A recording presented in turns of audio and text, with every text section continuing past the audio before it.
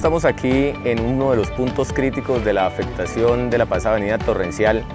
iniciando lo que será el nuevo puente que comunicará la área metropolitana con la provincia de García Rovira.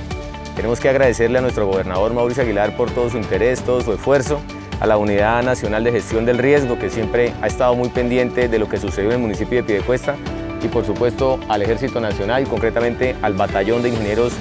Caldas, que han hecho presencia permanente y han ayudado a resolver cada uno de los problemas que se han presentado en esta vía.